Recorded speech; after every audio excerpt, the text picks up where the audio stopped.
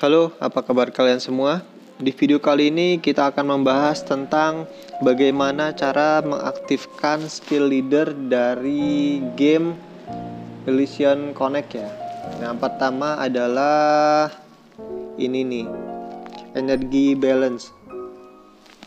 Nah, cara mengaktifkannya yaitu jumlah pasangan setiap jenis energi tidak boleh melampaui dua. Nah, jadi kalau kita menggunakan tanker energi 15 dan tanker energi 15 maka buffnya tidak akan aktif. Nah, ini dia jika kita mengaktifkan ini meningkatkan damage sebesar 15% untuk dua ronde. Oke, kita contohkan saja. Sekarang kita contoh si Miyuki ya. Miyuki ini kelasnya skill. Dan kita pasangkan dengan kelas guardian sama-sama energinya 15 ini buffnya masih aktif. Dan ketika kita memasangkan contoh masangkan si Beatrix. nah ini energinya juga 15 tapi rollnya sama dengan Miyuki maka buffnya tidak akan aktif. Kemudian begitu juga kita pasangkan si guardian energi 15 guardian energi 15 mana mana eh, guardian energi 15 oke ini dia. Nah maka babnya juga tidak akan aktif. Nah kita harus memakai satu ya. Satu.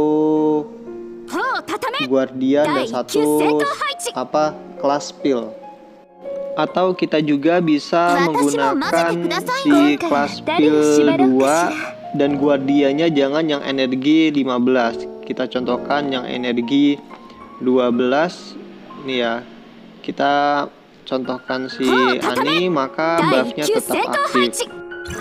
Dan itu dia cara mengaktifkan skill leader pertama ya. Intinya ialah jika kita memasangkan dua karakter beda kelas maka kita tidak bisa membawa karakter yang energinya sama dengan karakter tersebut. Dan sekarang kita menuju ke skill leader yang kedua. Nah, cara mengaktifkannya yaitu kita harus membawa dua karakter dari lima karakter yang disebutkan, yaitu kita harus membawa saya, Nina, Victoria, Anne, dan Jasmine. Setidaknya kita harus membawa dua karakter tersebut dalam pertempuran.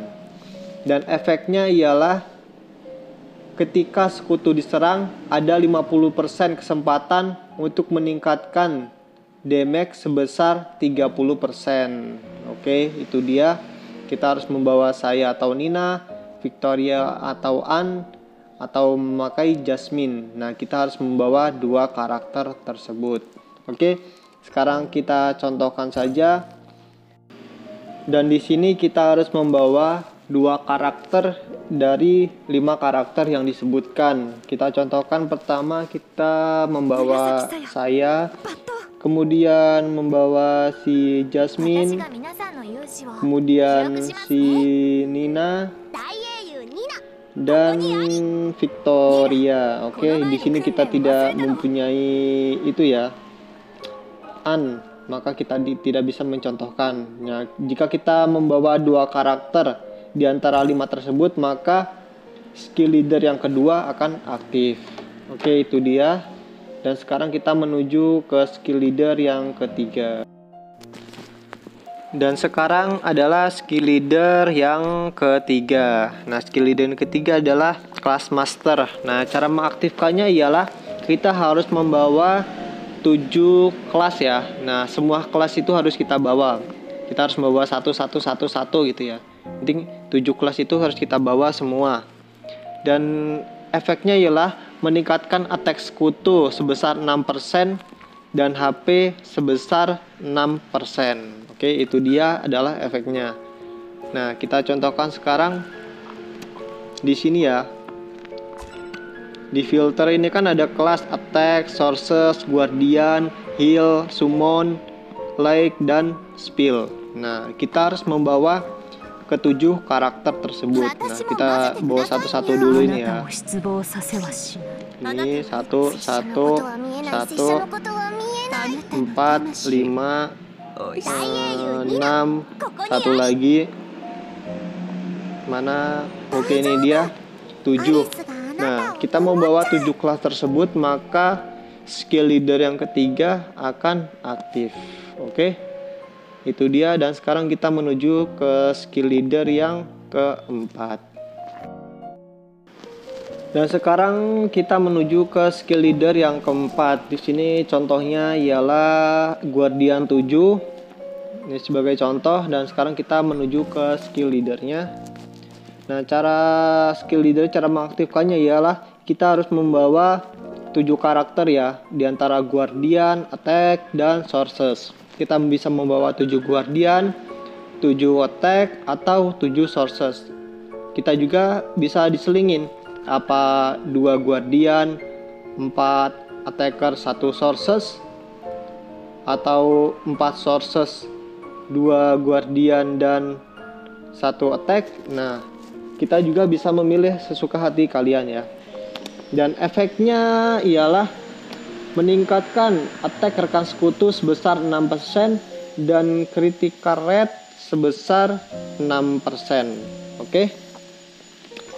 ini dia nah di sini ya ini ya Guardian 7 maka skill leader yang keempat akan aktif nah kita buang guardiannya jadi tiga kemudian attacker kemudian kita pasang attacker ya. Attackernya 4 maka skill leader yang keempat akan aktif juga. Nah kita kemudian kita buang attacker satu kita pasang si sources. Maka skill leader yang keempat akan aktif juga.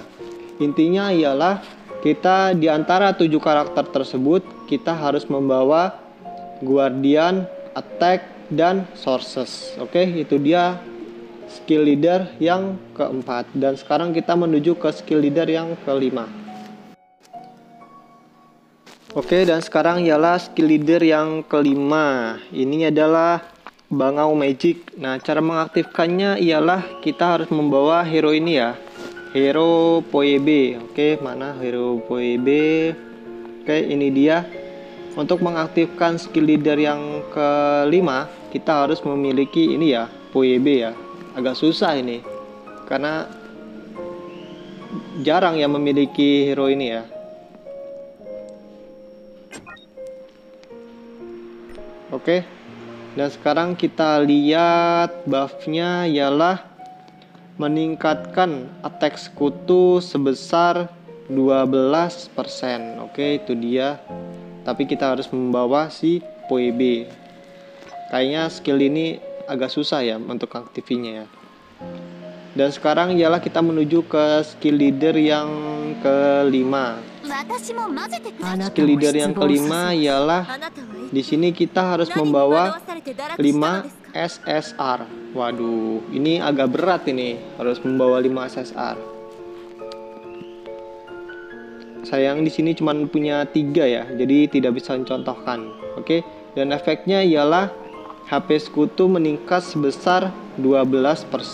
Nah, kita harus membawa SSR 5. Wow, buset dah SSR 5.